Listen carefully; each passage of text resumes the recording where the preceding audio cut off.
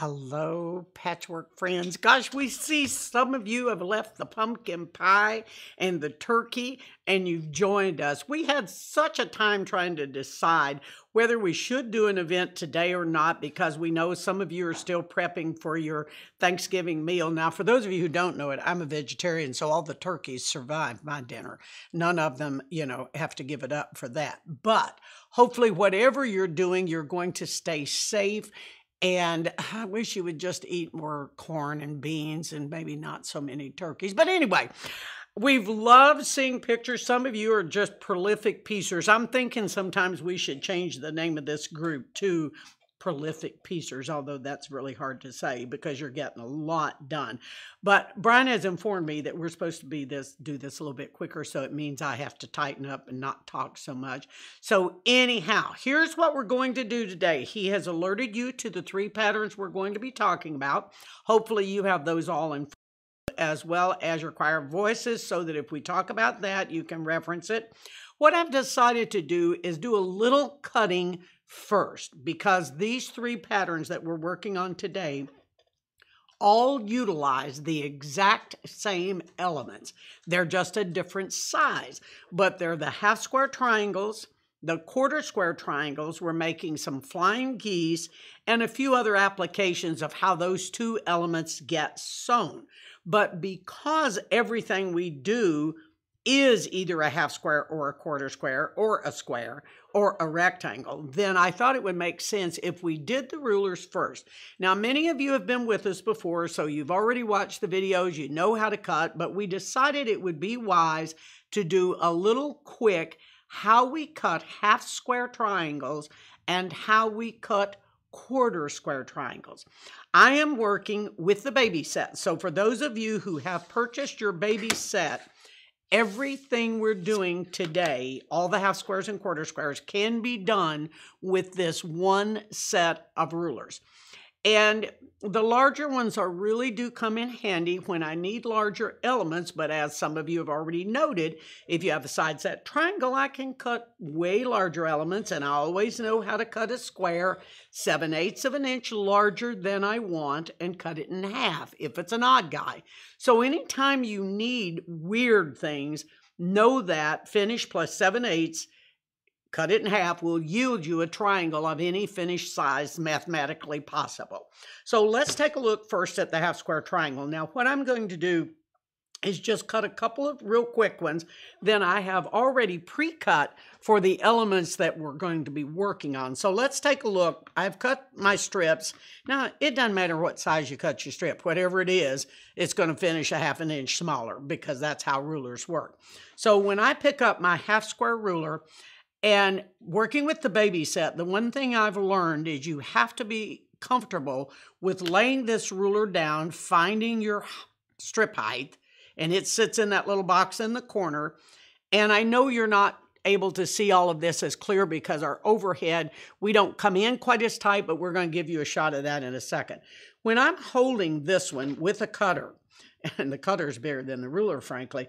One of the things I've learned to do is get my hand off to the side so that I don't have anything creeping over like this.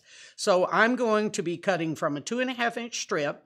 I'm a right hander. My excess fabric is to my right, and the ruler is laying down like I read the words as if they were in a book. And I'm now going to cut on that line. If you're a left hander, you're going to do the mirror image of this. So I'm going to make a cut. Now there is my, mm, this always happens, doesn't it? There's my first cut. And now I'm going to turn this ruler over, and this is where everybody gets in trouble. What's in the lower left-hand corner goes in the upper right-hand corner. That's the only move you make when you go from cut one to cut two. Just lay the ruler back down I got a lot of questions about should the little tip hang off. If it didn't, you wouldn't be at two and a half. So if you left the tip flush, you'd be at two and a quarter. So you've got to drop off to where you're back at your two and a half again. And let's cut again. Now, here's where this is so important. I'm going to come in on the white fabric to show you this. And I talked about it last time, but it wasn't real clear. This is how I also cut squares with this ruler because if I position myself right there, the second cut position, so here's cut one, here's cut two, like this, I slide down and right there is my perfect square.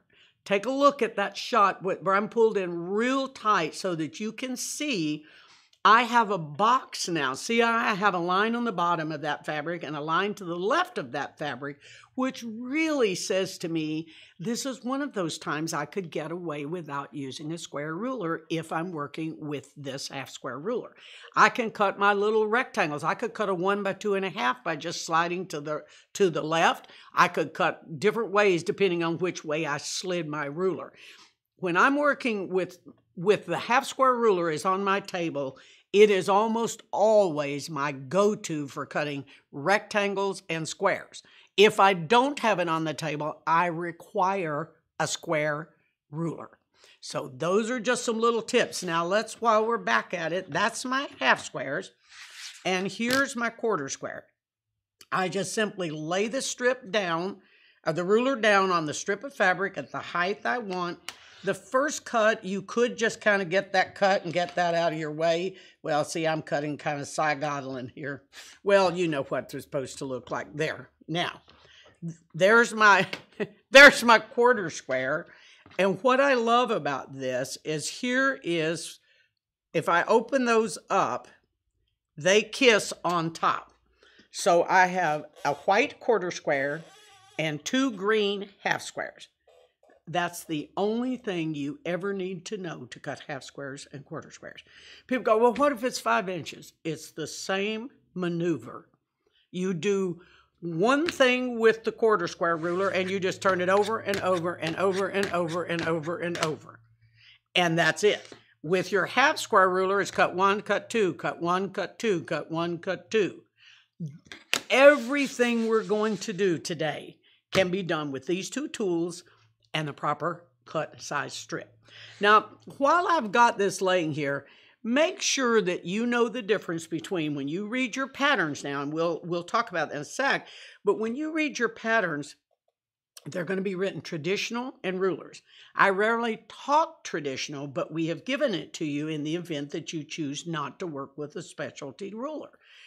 They're the same height. If you were cutting these traditional, you would have one size strip that you would have to cut for your half square and another size from your quarter square.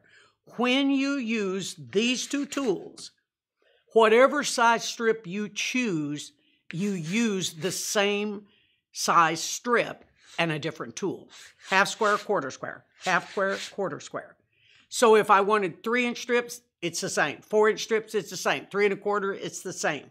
So all you have to do is decide what size unit you want, add a half an inch, and pick up one or the two of the tools. Got it? Okay, so now we're not going to cut anymore, so we'll get into taking a look at, um, on your pattern sheet, Brian's going to pull up the um, the Choir Voices quilt, and today we're going to be working, the very first pattern we're going to work with is Betsy Ross. And Betsy Ross is, all three of these are in the same row. So you have um, JK, no, KL and M. Yeah, or is it JKL? Sorry. Um, the J is the Betsy Ross, and that's the very first one we're going to work with. And then you'll see as they move across, the K is Martha and the L is Frances Cleveland. So let's take a look at our Betsy. Now I'm going to pull these out and I want to show you something real quick. Let me get my little pattern out here. See, this is the advantage, folks. If we weren't live, I'd have time to stop and hem and haw and do all that stuff. But I'm going to show you the... I want to let you know, Margaret says she pieces, she pre-cuts all her pieces in the session patterns. Ah, well, good. That Margaret's. Uh, I'm telling you, she's she's always ahead of the game. Margaret, I don't know, are you like a PhD or something? Because you're always ahead of the game. Margaret's got something done before I even talk about it. She, I maybe need to hire Margaret come help me or something. I don't know. Um, but anyway, let's take a look at my Betsy block.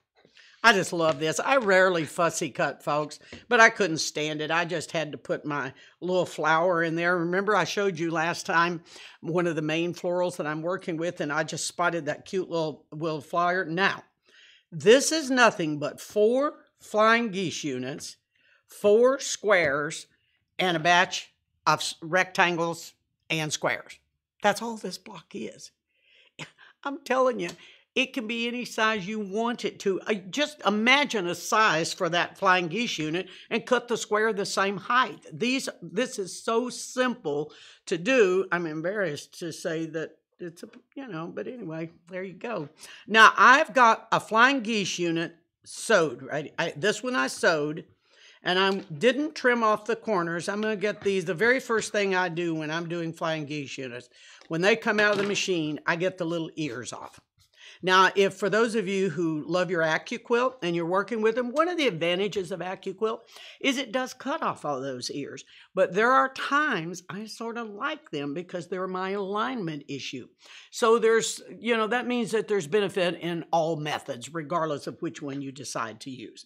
Now, one of the things that I want to show you before we look at the block, if I am sewing 16,000 flying geese units, I always put the top one on first. So my language when I'm sewing them is I have my half square laying on my quarter square. And because the quarter square triangle has two bias elements to him, I always leave it on the bottom. Uh, the only time I would put that on top is if I was sewing two or three of them together. Obviously, one of them would have to be on top.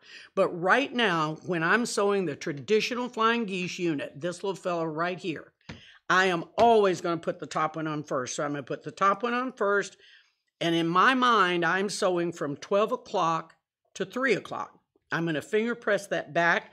And I don't know, somebody came in here and stole my other flying geese unit. I don't know where it is, but anyway, I would put the second one on and I would sew from 3 o'clock to 6 o'clock and I would get this. And all I need is four of those, four squares and my little center element. And that's it. I mean, I just like to make it harder, but I don't know how. And if you read your pattern, you also know that you have to sash this fellow up. I'm, I think you're sashing him from 12 up to 14 and a half. Now, up in the very um, top right-hand corner of your layout sheet for choir is the six-inch Betsy block. I think it's E, Brian, on the pattern. If you pull up the yeah, it's the very top right element is the E. That's my six inch Betsy. Now, if you can tell from looking at the sashing on Betsy, it's fatter because it has to fill a different space. So when you make your six inch element, it is exactly like your 12, except it's smaller. I cut them the same way. I sew them the same way. I have all my, my flying geese unit is made up of the goose the V, and the two half squares. I typically have the nose of the goose flying right. He is always on the bottom. I always put the top one on first, and then I put the, the bottom one on last. And I'm going to tell you something. If you think that doesn't make any difference, do me a favor. Sew two one way and sew two the other way. I'd be willing to bet you you can tell the difference. I don't know why. Uh, and perhaps if you were consistent in the method you used, it wouldn't really make that much difference. But for me, that is the most important thing in making a flying geese unit. Now you can see in the picture right over my shoulder, the Betsy Ross big quilt that's hanging behind me is different than the pattern front because I've made this probably four, three or four times. Because if I get a new fabric collection or I'm just bored one day, I'll just whip out another Betsy Ross. Then there's a little bitty um, four block quilt hanging up on the corner of that that's in the reds and whites. And that's just to give you an idea that let's just say you guys are, uh, everybody wants to make the big quilts, but there just aren't enough hours in the day. You can make four blocks of this, make a cute little uh, table topper, and still be ready to give away some Christmas gifts. So don't think that you have to make the big quilt, although I do love the Betsy quilt, but you might give some thought to, gosh, I think I'll just make a couple of blocks, or maybe I'll just make a pillow, or whatever. So that's Betsy. And, you know, I'm on a time frame because I talk too much and I've already been notified by that by the producer. You know who that is, don't you? Okay, so I've already been told I can't talk as much. So, okay, all right. Are you ready now? Where did I put Martha, Brian? I hid her. All right, let's take a look at Martha now. Now, this one's going to take a little while because we have got a ton of stuff to show you on Martha. Um, Martha still uses the outside flying geese. So as you look at your pattern, let me show you my Martha here. And I'm going to close it in so you can see it without the sashing on it. See, this is again where if we weren't live, now you guys have all said you love live, so that's why you're getting us live. You've said you loved it, so we've just decided that's what we're going to go with. So there's my Martha. I would wager that I've made about seven of the Martha quilts in a different setting, in different variations. I've got a couple that are hand quilted. I didn't hand quilt them, but I got a couple that are hand quilted. And I really love this block. It's an old block, it's an archival block, been around forever. But there's the flying geese units. I don't even need to address these four flying geese units, but this center does require a little bit of talking about. So I have pieced, here's what you're going to be making. I have pieced this little center unit. Now, as you look at your pattern, it's your AB element as you're looking at your pattern. It's unit one. So when you look at unit one, it is one half square with two quarter squares. I have taught this a, a lot of times. And I can't tell you how many ways this can go south. and every one of them I have seen in some fashion or another. So when you make this, what I encourage you to do is make four. I've only made three because I'm going to show you the other one. Make four that look exactly the same way. Make four that are identical. Oops, see, because if not, when you get ready to put this together, you will not have the right formation. And so when I do four of these, I'm telling you, somebody is stealing my stuff. I don't know who. Brian, did you do that just to be funny? Well, he probably did. I don't know. Anyway, I can pretend I know where it is. When I get ready to lay this block out as you look at your unit one, all I do is take the second one and rotate it one quarter of a turn lay the third one on top of the second one, rotate it one quarter of a turn, and then if that somebody hadn't stolen my red one, I'd be able to show you the same thing. Here's one thing I do want to show you. The red is the one that's that you see flying right. So right now he is flying right. If I had put this in another formation, and I can do this by having him go this way, I can make him fly the other way. In the mother quilt, and in almost every Martha Washington quilt I have done, I'm not consistent within the quilt. You have to be consistent within the block. But when I make a quilt, I sort of like a couple that fly right and one or two that fly left then when you look at the quilt, it has way more interest than just looking at one that they're all going in the same direction. Now, I don't think it's wrong if it goes one way or the other. And to my knowledge, I don't know that one is more perfect than the other. But one of the things that I'm going to do is I'm going to have this laid out. I'm going to form the square with my four elements and, and my missing element. And then what I would do is take my flying geese, if these weren't the right color, and that would be my, there would be my flying geese unit. And that's how I would, right there, that's how I would do that. So the Martha Washington colors beautifully. For those of you who like the pattern front, I have used the side set triangle to do the diagonal set of that Martha. And that is, I think I've told you folks this, how important that ruler is to me in everything I do. It's a, it's a difficult one to store because it's an odd size and it's got that sharp point. You know, I called it cat poker. Remember that? And but it is my best friend when I get ready to cut a diagonal set. Now, if you look on the wall behind me, we've got a, a little um, Martha trip going on here. Take a look at the Martha that's Martha on the, I think I called it Day and Night on the Island back when we very first did it. And it's all in batiks, and I love this quilt. I want you to look at how different the border treatment is, and also look at the difference when the quilt block is set to itself, as it is in Martha on the Island, unlike the mother quilt, which is on your pattern, you get a totally different look on it. And then I love where you use your little piano keys, which is all the little rectangles to do a border, and that little dugout border that is done with connectors where you just take a square and put a connector corner on two sides, and that's how you come up with that little weavy um, border. I love the way that that quilt reads, and I love it when it's set to itself, but you have to be real patient with your seam direction because you're putting block one directly to block two. The advantage of doing a quilt on diagonal is it never sets to itself. So you have a lot of empty space to work in the event that seam direction is a challenge for you, then that makes your life just a little bit easier. And uh, Brian kind of swing down and show them the one in the chair. Now take a look at this little um, fellow. Yeah, you've got Martha still on that side. Yeah. Now take a look at that. Now, it, if you look at the top one, you can see that it is clearly the Martha Washington block. That little pinwheel is flying right on that one. It's flying left on the ones underneath it.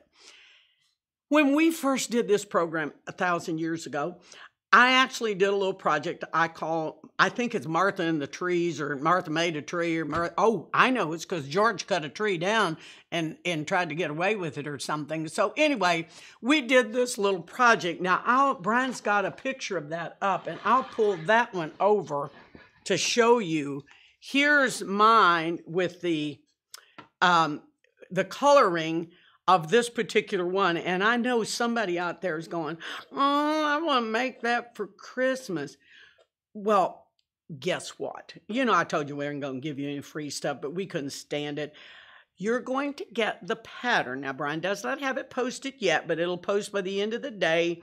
And you know where to find it under the free stuff, Patchwork Staycation. You know, because this is done with connector to just kind of see one one of these elements like right here corners added on. When you get this graphic, this will be pretty clear. In other words, I can't use my half square and quarter square ruler for this guy. I do use them as a support pattern for this program when we first did it, and it's not written traditional. It's only written to do these little center elements with that. Now, if you wanted to, you could use the exact same math you do on the pattern, but you would have to change your grid. So don't y'all all call me and ask me for the yardage chart and all that other stuff for this. This is a bonus with the layout exactly as you look at it. And even down here at the bottom, this is just a big black rectangle with two connector corners on it of whatever your main fabric is. And then this is a cream rectangle with a black connector corner on it. I've got, I can't tell you how many of these I've made and how much fun it is to do. So while you're puttering with this, because this fabric line I think came out in 2001 is when I think the fabric line came out. So that tells you how old it is. But you're going to get Martha in the Trees is going to be one of your projects.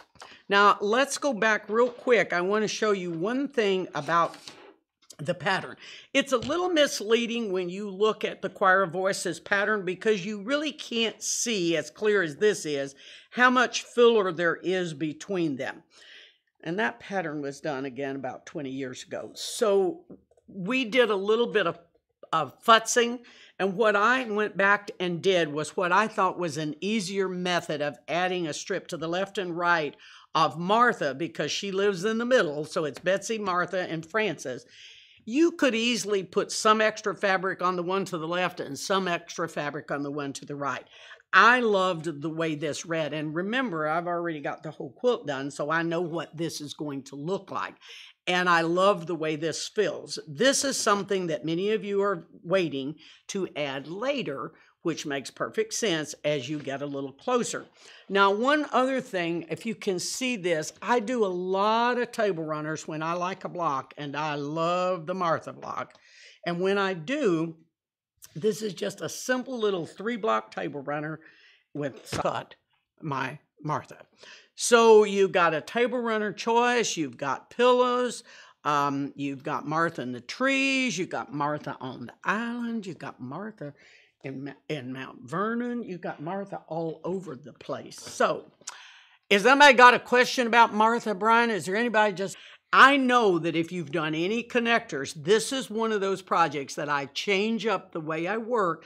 And for those of you who know me, know that I always, Mary Ellen Hopkins is the first person, to my knowledge, that ever did connectors. She called them connectors. Uh, flippy corners, it's got a bunch of names. But anytime you see a pattern written with that, please know that that's where it first originated. And she was doing this back in the 70s. So it's been around a long time, and I do use it. There's quite a few times that I it comes in handy.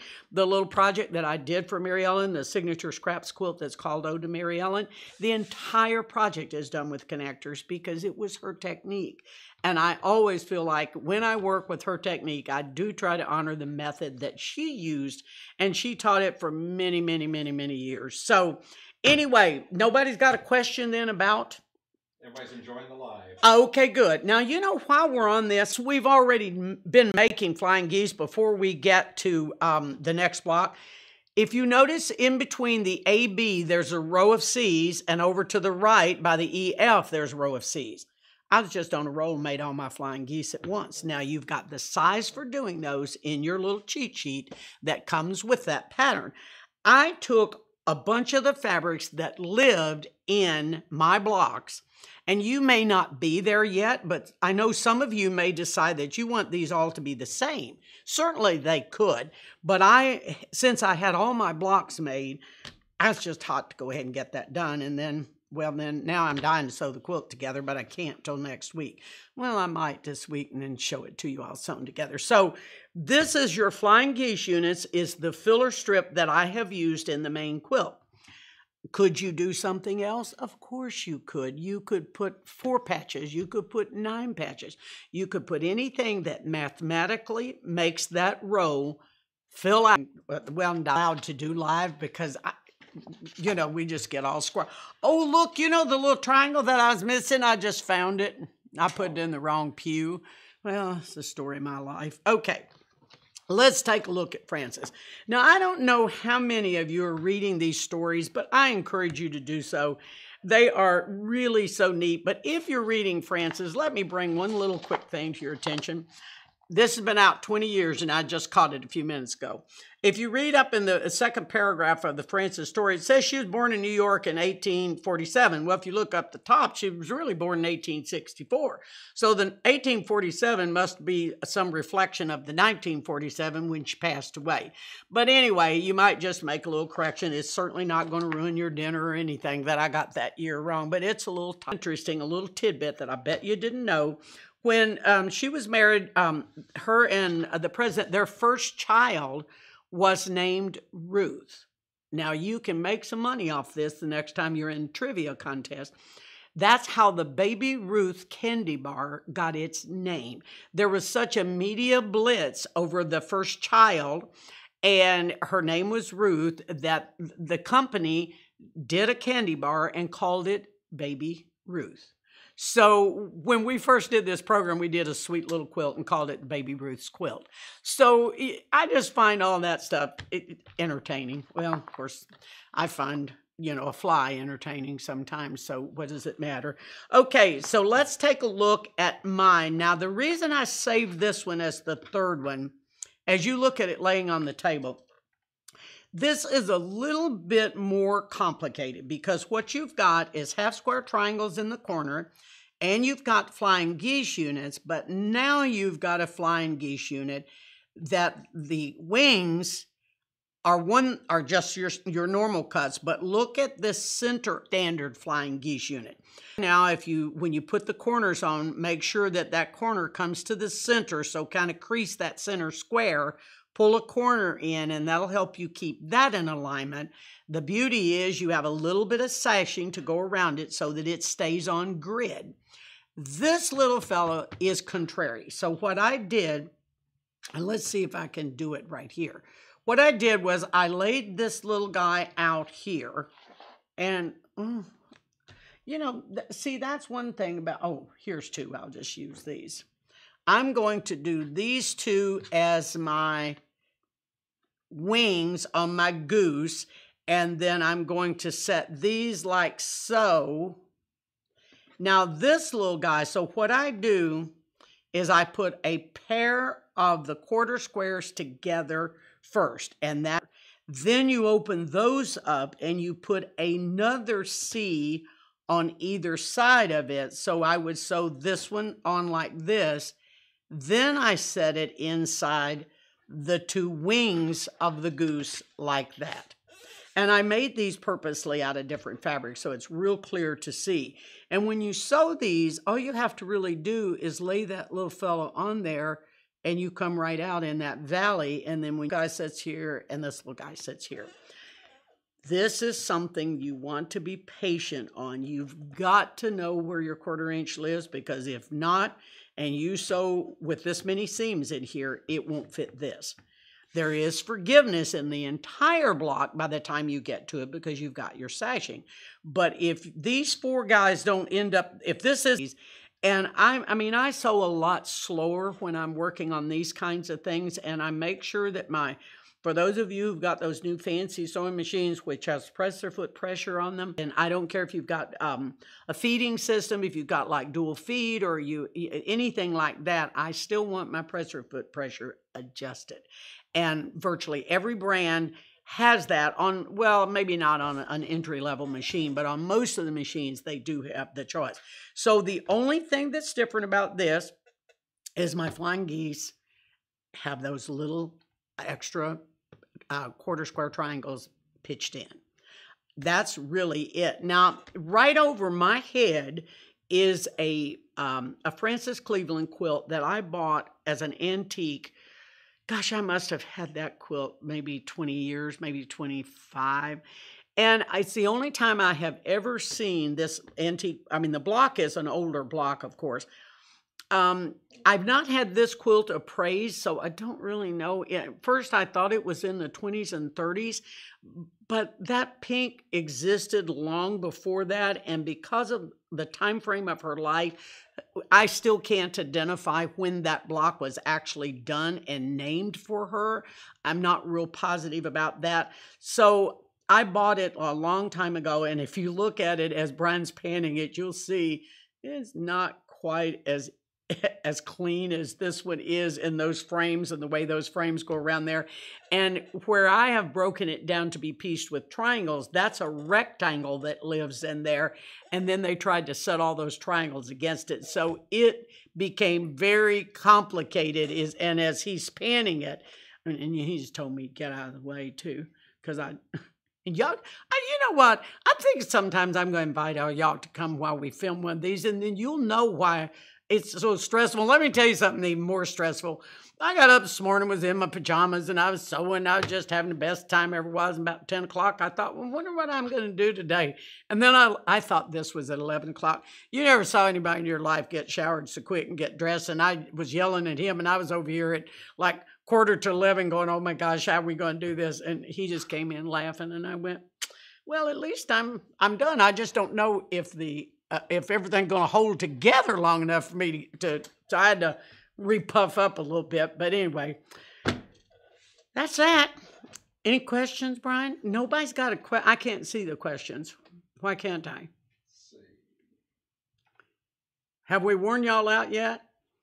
Um, uh, what size are the individual finished flying geese? Kathy, I don't know which ones you're talking about, but it don't matter what's they're they're the size the pattern says. It, all the everything I just cut for you is based on what's in the pattern. So if you've got your pattern, you know what size the the uh, strips are cut. What size I cut the one I did is immaterial. I was just merely showing you how to cut. Those are done with connectors and it's a very different thing and that will be on the pattern. It's very um, Brian redrew everything even and it's very very specific on how they're um, how they're numbered and everything. What? At the bottom, in the filler section, section C. Kathy W. in the filler section. Well, I don't know. Brian, pull up this filler section for me. I do know, but I'm going to show you something real quick.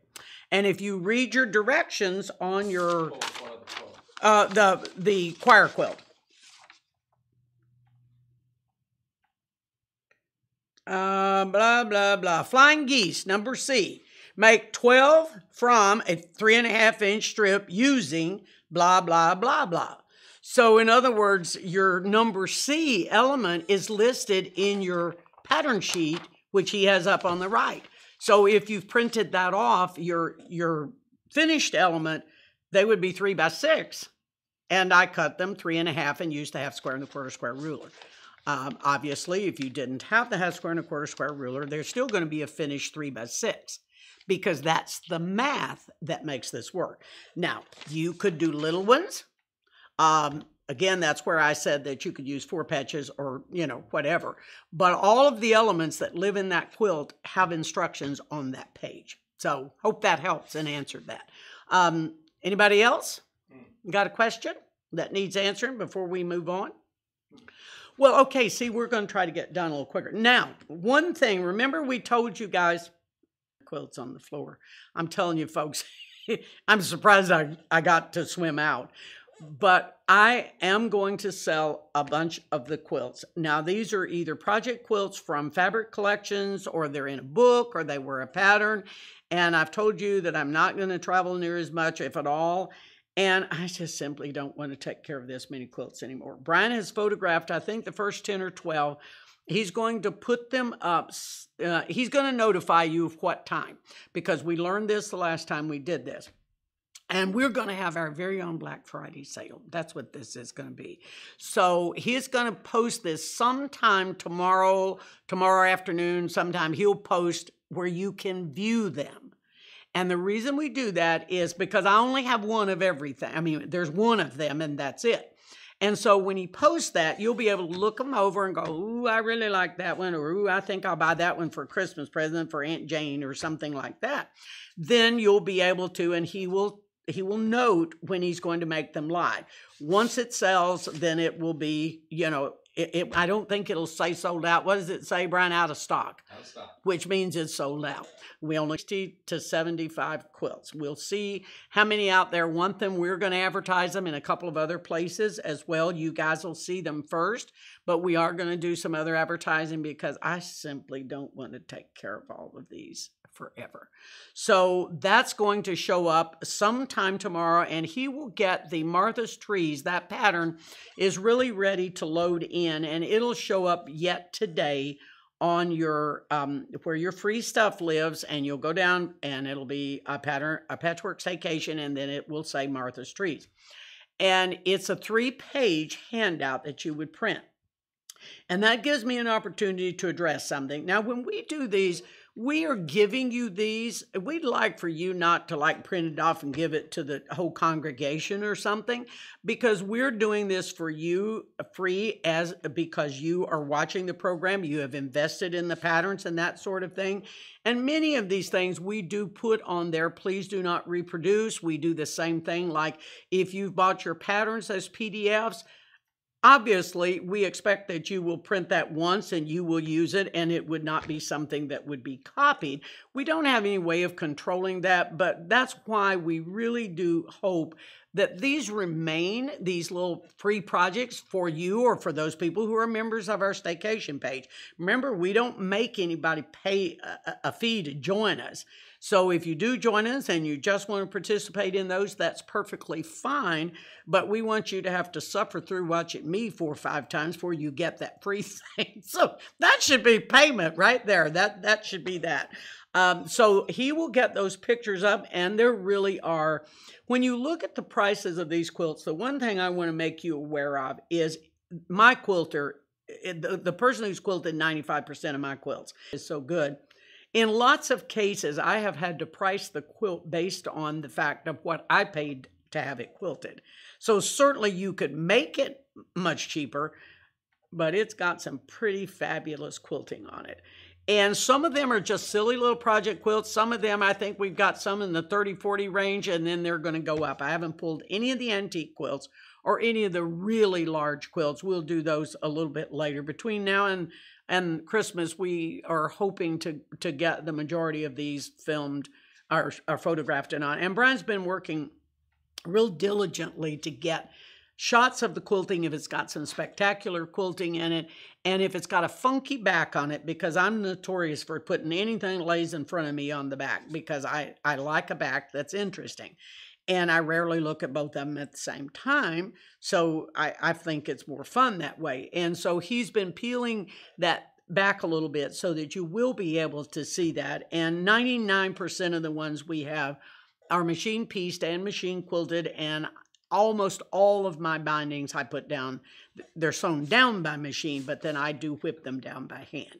So I would say that 98% of them are going to be stitched down by hand. Every now and then on the, if you get into some of the African quilts and some of the ethnic work, I might have stitched those down by machine using a feather stitch or a blanket stitch or something along those lines. So did I forget anything, Brian?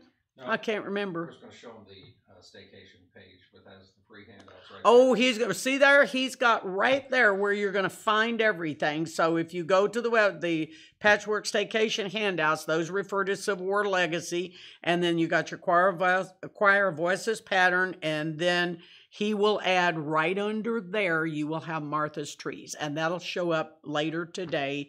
I'd like for you to get your block made before you make your trees, but I can't wait to see your trees.